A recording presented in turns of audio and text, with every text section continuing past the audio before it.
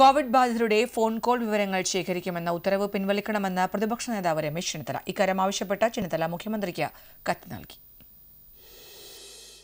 Covid ബാധിതരുടെ phone call വിവരങ്ങൾ അവരുടെ അറിവില്ലാതെ പോലീസ് ശേഖരിച്ചു വരികയാണ്. കോവിഡ് പ്രതിരോധ പ്രവർത്തനങ്ങൾ സംബന്ധിച്ച് സംസ്ഥാന പോലീസ് മേധാവി എ ഡി ജി പിമാർക്ക് നൽകിയ നിർദ്ദേശത്തിലും ഫോൺ കോൾ വിവരങ്ങൾ ശേഖരിക്കുന്നത് ത്വരിതപ്പെടുത്തുവാൻ നിർദ്ദേശം നൽകിയിരുന്നു. യാതൊരു നടപടിക്രമങ്ങളും പാലിക്കാതെ വ്യക്തികളുടെ അനുവാദം കൂടാതെ അവരുടെ സ്വകാര്യ വിവരങ്ങൾ ഭരണകൂടം ശേഖരിക്കുന്നത് ഇന്ത്യൻ ഭരണഘടന പൗരന്മാർക്ക് നൽകി വരുന്ന മൗലിക അവകാശങ്ങളുടെ നഗ്നമായ ലംഘനമാണെന്നും പ്രതിപക്ഷ നേതാവ് കത്തിൽ പറയുന്നു. ഇന്ത്യൻ ഭരണഘടനയുടെ അടിസ്ഥാന ശിലയായ മൗലിക അവകാശങ്ങളിലെ ഏറ്റവും സുപ്രധാനമാണ് ജീവിക്കാനുള്ള അവകാശമായ ഇരുപത്തിയൊന്നാം അനുച്ഛേദം. ഒരു വ്യക്തിക്ക് അന്തസ്സോടെ ജീവിക്കാൻ ഭരണഘടന ഉറപ്പു നൽകുന്ന മൗലിക അവകാശമാണിത്.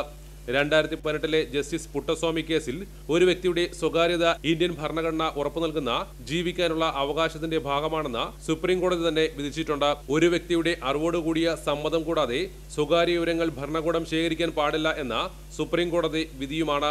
രാജ്യസുരക്ഷയെ അടക്കം ബാധിക്കുന്ന അടിയന്തര സാഹചര്യത്തിൽ മാത്രമേ ഒരു വ്യക്തിയുടെ അറിവോടെയല്ലാതെ സ്വകാര്യതയിലേക്ക് കടന്നു കയറാൻ സാധിക്കുകയുള്ളൂ.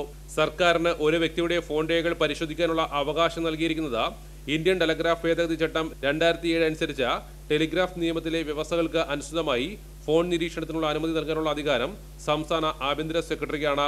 ഒരു വ്യക്തിയുടെ സ്വകാര്യ വിവരങ്ങൾ ശേഖരിക്കാൻ അനുമതി നൽകുന്ന മറ്റൊരു നിയമം ഇന്ത്യൻ ക്രിമിനൽ നടപടിയാണ്. പക്ഷേ ഇത് കുറ്റം ആരോപിക്കപ്പെടുന്ന വ്യക്തിക്കെതിരെ മാത്രമേ ബാധകമാക്കാൻ സാധിക്കുകയുള്ളൂ. കോവിഡ് രോഗം ഒരു കുറ്റമല്ലാത്തതിനാൽ സർക്കാരിന് ഈ നിയമവും ഉപയോഗിക്കാൻ സാധിക്കുകയില്ല എന്നിരിക്കെയാണ് കോവിഡിന്റെ മറവിൽ ഒരു നിയമത്തിന്റെ പോലും പിൻബലമില്ലാതെ സംസ്ഥാന പോലീസ് നടത്തുന്ന ഈ ഹീനമായ പ്രവൃത്തി ഒരു വ്യക്തി സംസാരിക്കുന്ന വ്യക്തികളുടെ വിവരങ്ങൾ കൊണ്ട് എങ്ങനെ കോവിഡ് രോഗികളുമായി സമ്പർക്കം പുലർത്തിയ വ്യക്തികളുടെ ലിസ്റ്റ് ഉണ്ടാക്കാൻ സാധിക്കുമെന്ന ചോദ്യവും ഈ സാഹചര്യത്തിൽ പ്രസക്തമാണ്.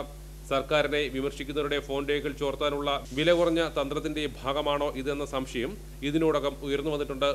ഈ സാഹചര്യത്തിൽ സംസ്ഥാന പോലീസിന്റെ നിയമവിരുദ്ധവും ഭരണഘടനാ വിരുദ്ധവുമായ ഈ നടപടി ഉടൻ പിൻവലിക്കണമെന്നും ചെന്നിത്തല മുഖ്യമന്ത്രിയോട് ആവശ്യപ്പെട്ടു.